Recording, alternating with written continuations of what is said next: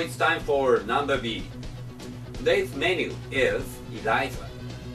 Fast and Loose was made in 1989 uh, in Hokkaido, Japan. This song is classical American rock style. Listen, the sound of the voice from Eliza.